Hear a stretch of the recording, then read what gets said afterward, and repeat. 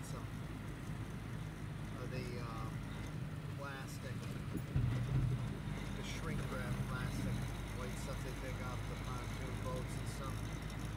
I get it from a guy and I use it around my place to cover up my toys and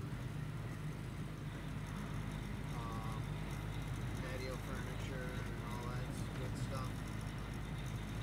It's never easy to shrink wrap it again.